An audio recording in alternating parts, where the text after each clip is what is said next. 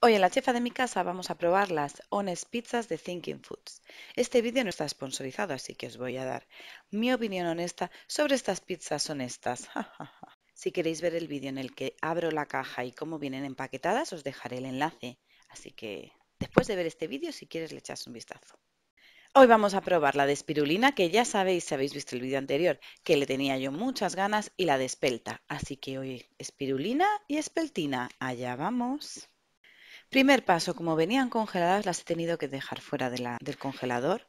Las he dejado en la nevera como a las 11 de la mañana para utilizarlas a las 7 de la tarde.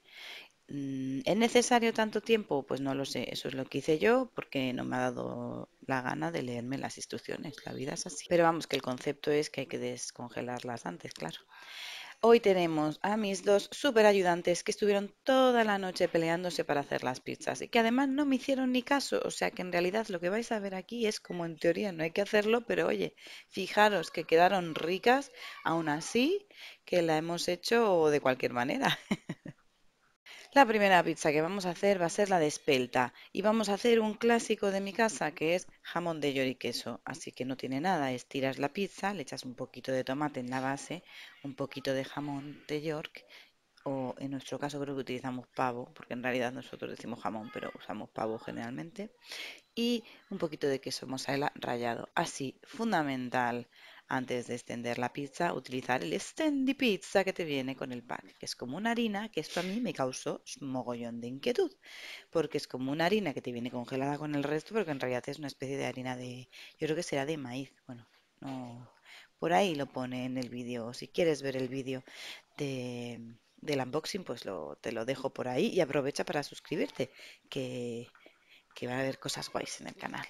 La de espirulina, que es para los mayores, ni la grabé, lo siento, pero vamos, que tampoco tiene nada. Lo único que echamos fue un poco de mozzarella fresca cortada en rodajas, unas tiras de tomate y un poco de albahaca por encima. Que si veis, me ha quedado ahí como deshidratada la albahaca. Creo que debería haberla echado al final, así como para como para decorar, pero no lo hice, así que quedó así. Está muy buena, la verdad, las dos estaban muy buenas. La de espirulina me gustó porque tenía ahí como un saborcillo diferente que yo no lo había probado y me pareció que estaba muy, muy graciosa. En teoría no tienes que hacer el rebuñito este que os digo que estamos haciendo, sencillamente con las manos lo estiras así y vas haciendo como, como en los vídeos de los auténticos youtubers estos de, de cocina que hay como por ahí dos o tres, pues como esos. De todas formas, si quieres que haga un vídeo ya y la haga yo y mm, teóricamente un poco extendiéndolas un poco mejor, déjame un comentario y dale un like a este vídeo. Y si has llegado hasta aquí, dime qué te gustaría ver en el próximo vídeo. ¿Una receta de Navidad o otra receta con la Sones Pizza? Gracias por verme, no olvides suscribirte y ahí te dejo un vídeo que en teoría, según YouTube, es lo que a ti más te apetece ver. Así que dale. Un beso.